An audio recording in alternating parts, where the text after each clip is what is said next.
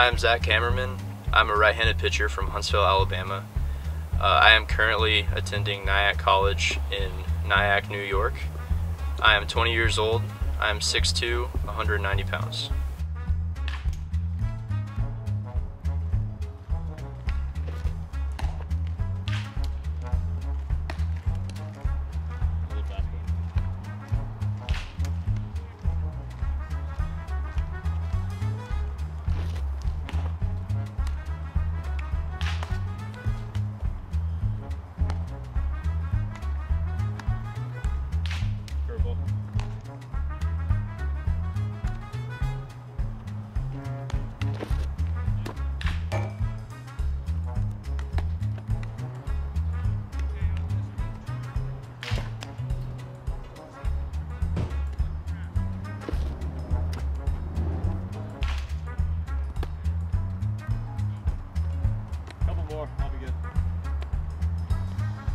Change up.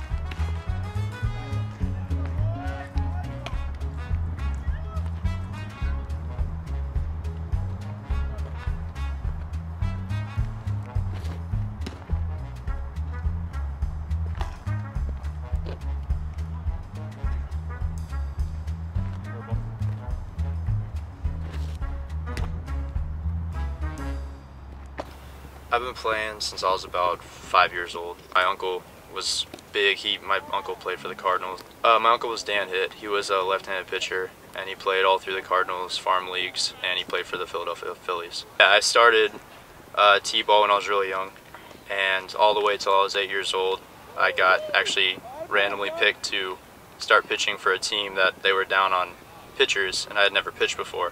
So I went out on the mound and ended up doing it a, a, really good job. I was throwing so slow and they couldn't catch up to it because I wasn't, I didn't really know what I was doing. But after I did that, my coach was like, you really need to start taking lessons. I think this is something you could really pick up. Uh, when I was about eight, when I started pitching, I had my first pitching coach, which was Joey Locke, who uh, his main his main mindset wasn't necessarily no curveball. It wasn't curveballs. It wasn't speed. It was mainly accuracy and just how like hitting your spots in certain locations. Like I remember to the day, like even now, we would always have like contests to see who could hit the most spots, and it wasn't anything about speed. It was just hitting that pinpoint dot. He always told us that accuracy, accuracy is something that you'll always have with you, and the speed at such a young age, it'll it'll come. You'll you'll gain it, but accuracy is something you can carry with you for the rest of your pitching career.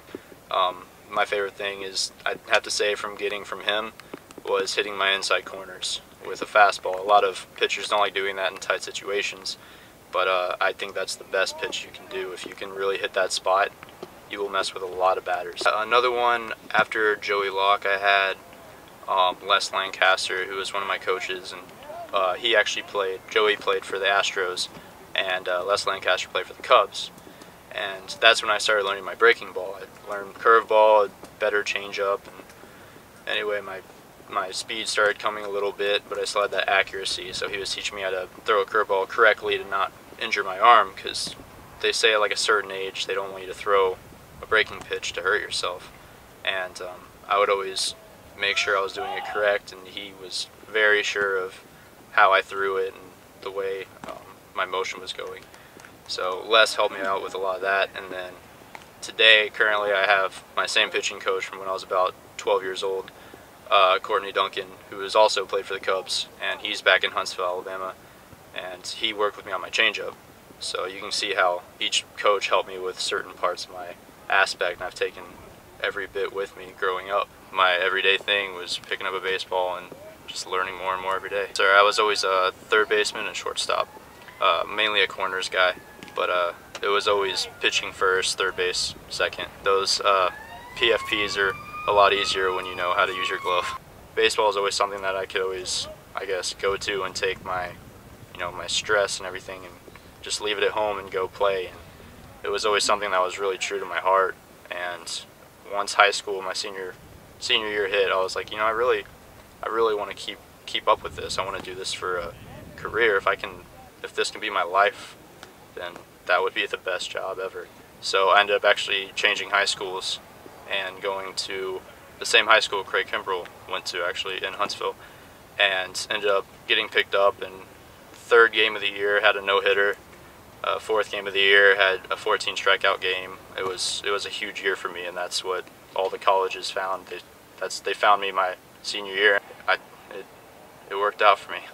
I came out of high school not really I pitched a lot my my senior year but uh, when I went to my um, college I ended up having a red shirt and it was a it was a huge toll on me and my coach said I had to get stronger for the next year. So I ended up coming back my sophomore year, not expecting to be really high in the rotation, just getting a few relieves. But um, I ended up being the number four pitcher, the starter, and just battled my way through the season. And by the end of the season, I was the number two, and the the number one, the ace above me, was a junior and technically a senior because he redshirted as well. So so it's a good, a good start to a freshman year. Uh, I've been clocked at 92 as my top, but uh, I sit at about 89, 90 currently, and um, I'm still undergoing a lot of strengthening and conditioning. The beginning of this year, I went through a um, bunch of a bunch of workouts to get stronger. Every other workout there was, like, I looked at different velocity programs, different pitching routines, and I just kind of put one together for myself and it's really been working out for me and the speed's slowly going up and I'm proud with my progress so far. I have a power curve which I can adjust to a 12.6.